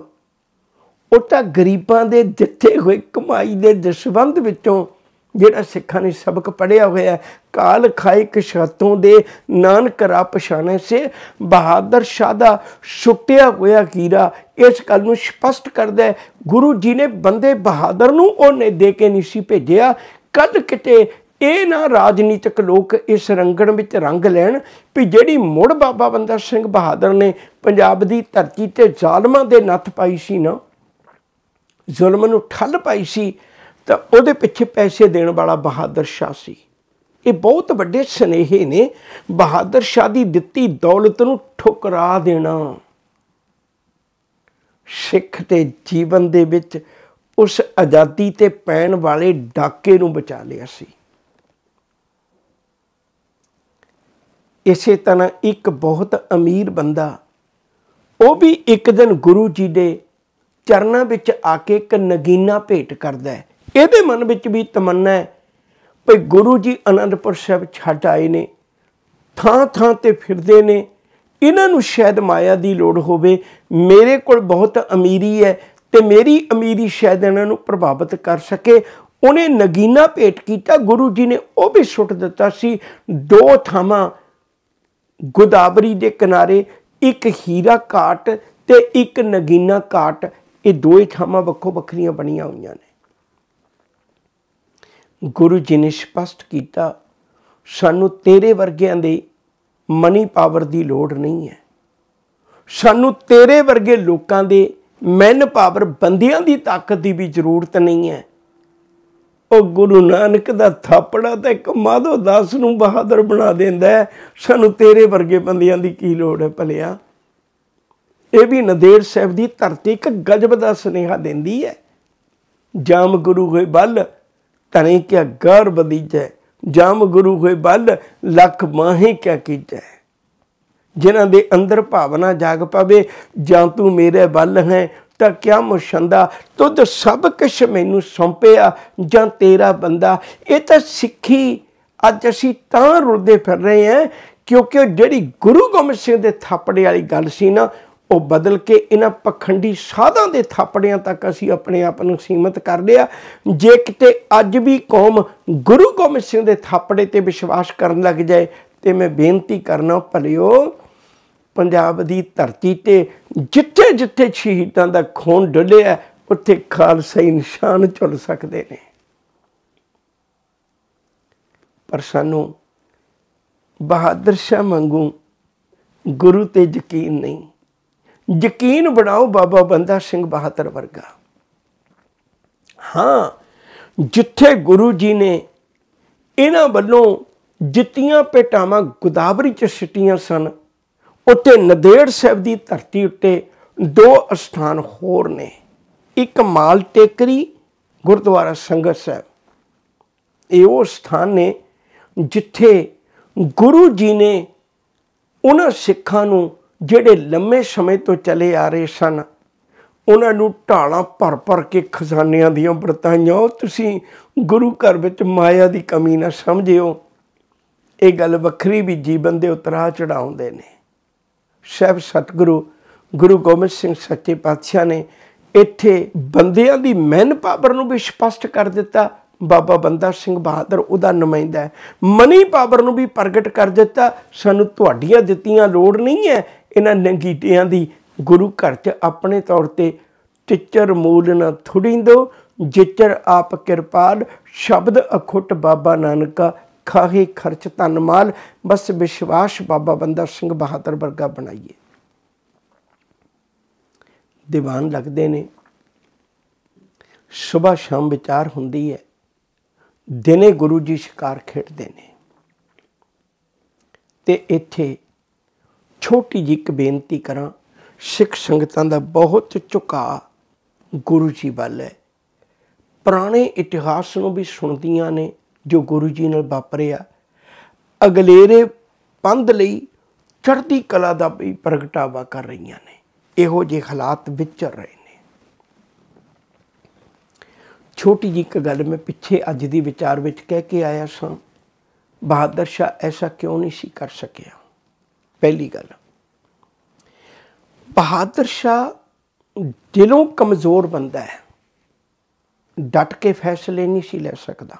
ਇਹ ਉਹਦੀ ਕਮਜ਼ੋਰੀ ਸੀ। ਦੂਜੀ ਗੱਲ, ਹਰੀ ਰਾਮ ਗੁਪਤਾ ਬਹੁਤ ਵਧੀਆ ਲਿਖਾਰੀ ਹੈ। ਉਹਨੇ ਇੱਕ ਗੱਲ ਲਿਖੀ ਬੜੀ ਕਮਾਲ ਦੀ। ਉਹਨੇ ਲਿਖਿਆ ਭਈ ਬਹਾਦਰ ਸ਼ਾਹ ਦੇ ਦਰਬਾਰ ਵਿੱਚ ਵਜ਼ੀਰ ਖਾਨ ਦੇ ਦਰਬਾਰ ਦਾ ਇੱਕ ਬੰਦਾ ਸਦਾ ਹੀ ਹਾਜ਼ਰ ਰਿਹਾ ਕਿਸੇ ਨਾ ਕਿਸੇ ਰੂਪ ਵਿੱਚ ਉਹ ਇੱਥੇ ਹਾਜ਼ਰ ਹੁੰਦਾ ਸੀ। ਬਹਾਦਰ ਸ਼ਾਹ ਦੀਆਂ ਕੀ ਗਤੀਆਂ ਵਿਧੀਆਂ ਨੇ, ਕੀ ਕਰ ਰਿਹਾ ਉਹਦੀ ਖਬਰ ਉਹ ਵਜ਼ੀਰ ਖਾਨ ਨੂੰ ਭੇਜਦਾ ਰਹਿੰਦਾ ਸੀ। ਅਗਲੀ ਗੱਲ,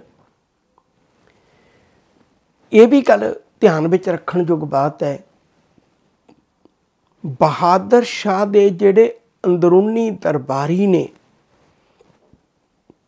ਉਹਨਾਂ ਵਿੱਚ ਵੀ ਕੁਝ ਕਾਜੀ ਤੇ ਹਾਜੀ ਇਹੋ ਜਿਹੇ ਨੇ, ਜਿਹੜੇ ਔਰੰਗਜ਼ੇਬ ਨੂੰ ਇਸਲਾਮ ਦਾ ਬਹੁਤ ਵੱਡਾ ਰਾਖਾ ਮੰਨ ਕੇ ਤੇ ਗੁਰੂ ਗੋਬਿੰਦ ਸਿੰਘ ਨੂੰ ਜਾਂ ਗੁਰੂ ਤੇਗ ਬਹਾਦਰ ਸਾਹਿਬ ਜੀ ਨੂੰ ਹਿੰਦੂਆਂ ਨੂੰ ਮੁਸਲਮਾਨ ਨਾ ਬਣਾ ਸਕਣ ਦੇ ਰਾਹ ਵਿੱਚ ਰੁਕਾਵਟ ਸਮਝਦੇ ਨੇ।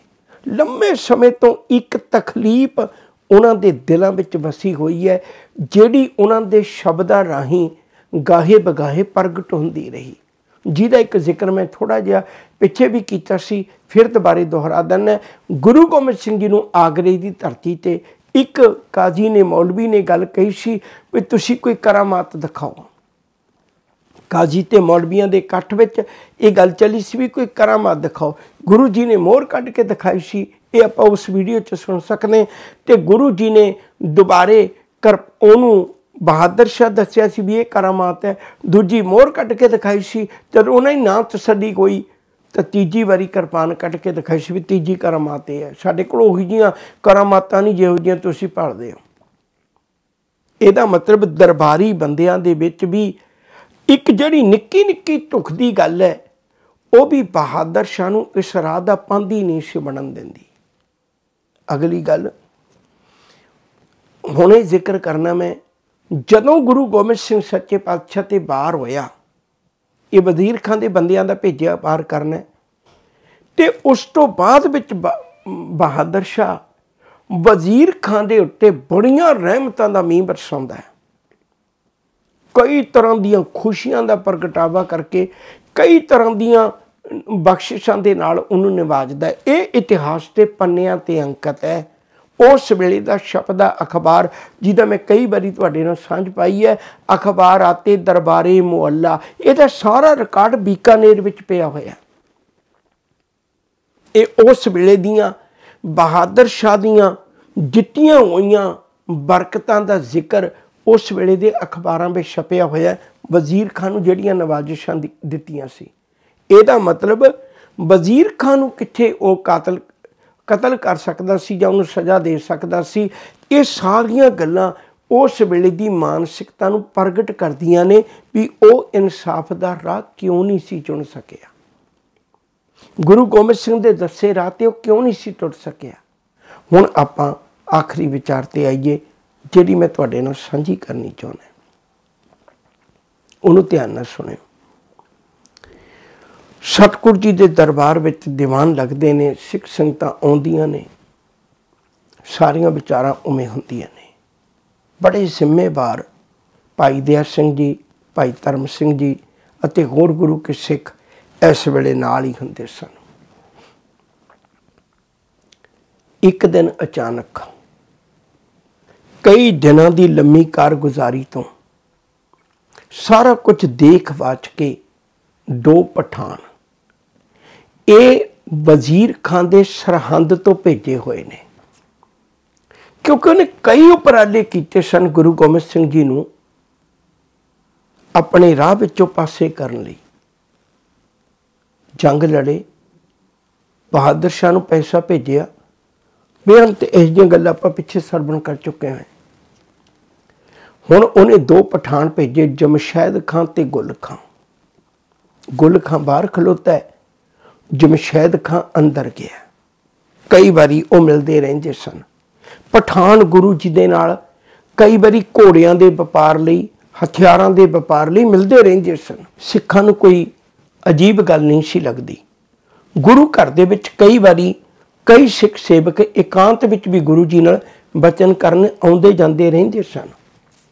ਇੱਕ ਦਿਨ ਸਮਾਂ ਪਾ ਕੇ ਇਸ ਜਮਸ਼ੈਦ ਖਾਨ ਨੇ ਇੱਕ ਖੰਜਰ ਦੇ ਨਾਲ ਸਤਿਗੁਰੂ ਜੀ ਦੀ ਬੱਖੀ ਵਿੱਚ ਖੰਜਰ ਮਾਰ ਕੇ ਜ਼ਖਮੀ ਕਰ ਦਿੱਤਾ। ਸਤਿਗੁਰੂ ਜੀ ਨੇ ਉਸੇ ਵੇਲੇ ਉਹਦੇ ਚੋਲੇ ਦੀ ਕੰਨੀ ਪਕੜ ਕੇ ਵਾਪਸ ਖਿੱਚ ਕੇ ਭੱਜੇ ਜਾਂਦੇ ਨੂੰ ਆਪਣੀ ਕਿਰਪਾਨ ਦੇ ਨਾਲ ਸਦਾ ਲਈ ਖਾਤਮਾ ਕਰ ਦਿੱਤਾ। ਜ਼ਾਲਮ ਦਾ ਖਾਤਮਾ ਤਾਂ ਹੋ ਗਿਆ ਸੀ। ਪਰ ਜਿਹੜਾ ਇਹ ਗਹਿਰਾ ਘਾਹ ਸੀ, ਗਹਿਰਾ ਜ਼ਖਮ ਸੀ, ਉਹਦੇ ਨਤੀਜੇ ਕੁਝ ਹੋਰ ਨਿਕਲੇ। ਸਹਿਬ ਨੇ ਆਵਾਜ਼ ਮਾਰੀ, ਰੌਲਾ ਪੈ ਗਿਆ। ਬਾਹਰੋਂ ਵੀ ਸਿੰਘਾਂ ਨੇ ਗੁਲਖਾਂ ਨੂੰ ਝਟਕਾ ਦਿੱਤਾ। ਪਰ ਨਾਲ ਗੁਰੂ ਜੀ ਦੇ ਇਸ ਜ਼ਖਮ ਨੂੰ ਸੀਤਾ, ਚੋਲਾ ਲੱਥ ਪੱਥ ਹੋ ਗਿਆ ਸੀ ਲਹੂ ਨਾਲ। ਸਾਰਾ ਆਸਣ ਲੱਥ ਪੱਥ ਹੋ ਗਿਆ ਸੀ ਲਹੂ ਨਾਲ। ਆਖਰਕਾਰ ਦਾਤਾਰ ਸਤਗੁਰ ਸੱਚੇ ਪਾਤਸ਼ਾਹ ਦਾ ਜ਼ਖਮ ਸੀਤਾ ਗਿਆ। ਪਰ ਜਦੋਂ ਪਾਤਸ਼ਾਹ ਜੀ ਉੱਠ ਕੇ ਵਿਚਰਨ ਲੱਗੇ ਆਸੇ-ਪਾਸੇ, ਤਾਂ ਉਹ ਜ਼ਖਮ ਦੇ ਟੰਕੇ ਫਿਰ ਦੁਬਾਰੇ ਖੁੱਲ ਗਏ ਸਨ। ਚੇਤਾ ਰੱਖਿਓ, ਮੇਰੇ ਪਾਤਸ਼ਾਹ ਨੇ ਆਖਰਕਾਰ ਸਰੀਰਕ ਚੋਲਾ ਛੱਡਣ ਦੀ ਤਿਆਰੀ ਕਰ ਲਈ। ਇਹ ਵਿਚਾਰ ਤਾਂ ਬਹੁਤ ਲੰਮੇ ਸਮੇਂ ਤੋਂ ਚਲੀ ਆ ਰਹੀ ਸੀ। ਜਿਵੇਂ ਗੁਰੂ ਨਾਨਕ ਸਾਹਿਬ ਜੀ ਦੇ ਵੇਲੇ ਸ਼ੈ ਨੇ ਸਿਰਫ ਕਾਇਆ ਪਲਟੀ ਸੀ। ਹੁਣ ਵੀ ਗੁਰੂ ਗੋਬਿੰਦ ਸਿੰਘ ਜੀ ਨੇ ਅੱਗੇ ਕਾਇਆ ਪਲਟ ਕੇ ਕਿਸ ਰੂਪ 'ਚ ਸਾਹਮਣੇ ਆਉਣਾ ਹੈ, ਇਹ ਪੰਜ ਪਿਆਰਿਆਂ ਦੀ ਸਾਜਨਾ ਕਰਕੇ ਗੁਰੂ ਜੀ ਨੇ ਸਿੱਖੀ ਦੀ ਮਾਨਸਿਕਤਾ ਵਿੱਚ ਇਹ ਗੱਲ ਬਿਠਾ ਦਿੱਤੀ ਸੀ ਪਹਿਲਾਂ। ਆਖਰ ਉਹ ਸਮਾਂ ਆਇਆ।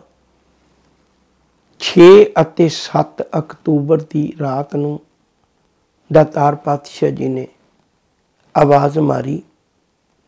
ਭਾਈ ਦਇਆ ਸਿੰਘ ਜੀ ਨੂੰ ਆਵਾਜ਼ ਮਾਰ ਕੇ ਧੰਨ ਗੁਰੂ ਗ੍ਰੰਥ ਸਾਹਿਬ ਸੱਚੇ ਪਾਤਸ਼ਾਹ ਜੀ ਦਾ ਸਰੂਪ ਉਹ ਪ੍ਰਕਾਸ਼ ਕੀਤਾ ਗਿਆ।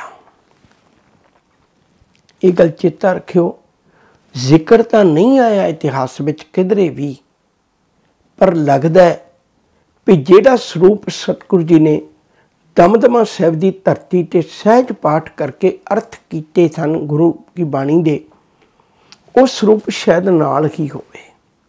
ਕਿਉਂਕਿ ਨਦੇੜ ਸਾਹਿਬ ਦੀ ਧਰਤੀ ਤੇ ਉਸ ਵੇਲੇ ਐਟ ਏ ਟਾਈਮ ਸਰੂਪ ਕਿੱਥੋਂ ਆ ਜਾਣਾ ਸੀ? ਭਾਈ ਦਇਆ ਸਿੰਘ ਜੀ ਨੂੰ ਬਚਨ ਕੀਤੇ ਤੇ ਉਹ ਭੱਟ ਬਈਆਂ ਚੋਂ ਮੈਂ ਸਾਂਝੇ ਕਰਨਾ ਗੁਰੂ ਜੀ ਨੇ ਗੁਰੂ ਗ੍ਰੰਥ ਸਾਹਿਬ ਸੱਚੇ ਪਾਤਸ਼ਾਹ ਦੇ ਕੀਤੇ ਪ੍ਰਕਾਸ਼ ਨੂੰ ਪ੍ਰਕਰਮਾ ਕਰਕੇ ਮੱਥਾ ਟੇਕ ਕੇ ਗੁਰੂ ਦੀ ਹਜ਼ੂਰੀ ਵਿੱਚ ਪੰਜ ਪਿਆਰਿਆਂ ਨੂੰ ਖਿਲਾਰ ਕੇ ਸਪਸ਼ਟ ਕਰ ਦਿੱਤਾ ਭਈ ਅੱਜ ਤੋਂ ਬਾਅਦ ਜੋਤ ਅਤੇ ਜੁਗਤ ਦੇ ਦਾਤਾ ਧੰਨ ਗੁਰੂ ਗ੍ਰੰਥ ਸਾਹਿਬ ਮਹਾਰਾਜ ਜੀ ਨੇ। ਸਰੀਰਕ ਤੌਰ ਤੇ ਜਦੋਂ ਜਦੋਂ ਲੋੜ ਪਈ ਤੇ ਪੰਥ ਜਿਹੜਾ ਹੈ, ਉਹ ਪੰਜ ਪਿਆਰਿਆਂ ਦੇ ਰੂਪ ਵਿੱਚ ਸਰੀਰਕ ਕਾਰਜਾਂ ਲਈ ਅਗਲੇਰੀ ਅਗਵਾਈ ਕਰੇਗਾ। 7 ਅਕਤੂਬਰ ਦੀ ਰਾਤ, ਦਿਨ ਦੇ ਚੜਾ ਵੇਲੇ ਸਿੱਖ ਇਤਿਹਾਸ ਦਾ ਉਹ ਪੰਨਾ ਹੈ। ਜਿਸ ਦਿਨ ਸਿੱਖ ਗੁਰੂ ਨਾਨਕ ਸਾਹਿਬ ਜੀ ਦੀ 1469 ਤੋਂ ਉਂਗਲ ਪਕੜ ਕੇ ਤੁਰਿਆ ਸੀ 239 ਸਾਲ ਦੇ ਇਤਿਹਾਸ ਵਿੱਚ ਸਰੀਰ ਰੂਪ ਵਿੱਚ ਵੀ ਗੁਰੂ ਦੀ ਉਂਗਲ ਪਕੜ ਕੇ ਤੁਰਦਾ ਰਿਹਾ। ਹੁਣ ਤੋਂ ਬਾਅਦ ਗੁਰੂ ਨੇ ਅੱਜ ਵਰਗੇ ਸਰੀਰਕ ਰੂਪ ਚ ਨਹੀਂ ਸੀ ਮਿਲਣਾ। ਸਿੱਖਾਂ ਲਈ ਇਹ ਵਿਛੋੜਾ ਕਿੰਨਾ ਕੁ ਅਸਹਿ ਹੋਵੇਗਾ। ਇਹਨੂੰ ਬਿਆਨ ਕਰਨ ਜੋਗੇ ਮੇਰੇ ਕੋਲ ਸ਼ਬਦ ਨਹੀਂ। ਆਖਰ ਪਾਤਸ਼ਾਹ ਸ਼ਹਾਦਤ ਦਾ ਜਾਮ ਪੀ ਗਏ। ਸਿੰਘਾਂ ਨੇ ਤਿਆਰੀ ਕਰਕੇ ਇਸੇ ਹੀ ਹਜ਼ੂਰ ਸਾਹਿਬ ਨੰਦੇੜ ਸਾਹਿਬ ਦੇ ਵਿੱਚ ਸਤਿਗੁਰੂ ਗੁਰੂ ਗੋਬਿੰਦ ਸਿੰਘ ਸਾਹਿਬ ਸੱਚੇ ਪਾਤਸ਼ਾਹ ਦਾ ਸੰਸਕਾਰ ਕੀਤਾ ਗਿਆ। ਆਓ ਪਿਆਰ ਵਾਲਿਓ ਤੁਹਾਡੇ ਚਰਨਾਂ ਵਿੱਚ ਇੱਕੋ ਇੱਕ ਹੱਥ ਜੋੜ ਕੇ ਬੇਨਤੀ ਕਰਦਾ ਸਤਿਗੁਰ ਵੱਡਾ ਕਰ ਸਲਾਹੀ ਹੈ, ਜਿਸ ਵਿੱਚ ਵੱਡੀਆਂ ਵਡਿਆਈਆਂ।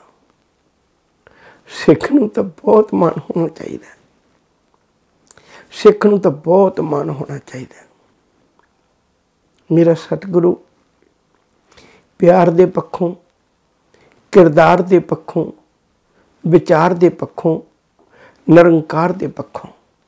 ਕੋਈ ਪੱਖ ਵੀ ਜ਼ਿੰਦਗੀ ਦਾ ਲੈ ਲਈਏ, ਉਹਦਾ ਕੋਈ ਤੁਹਾਨੂੰ ਕਮਜ਼ੋਰ ਨਜ਼ਰ ਨਹੀਂ ਆਏਗਾ। ਉਹ ਦਰ ਦਰ ਤੇ ਭਟਕਣ ਵਾਲਿਓ, ਆਓ ਗੁਰੂ ਗੋਬਿੰਦ ਸਿੰਘ ਸੱਚੇ ਪਾਤਸ਼ਾਹ ਜੀ ਦੇ ਚਰਨਾਂ ਵਿੱਚ ਜੁੜੀਏ।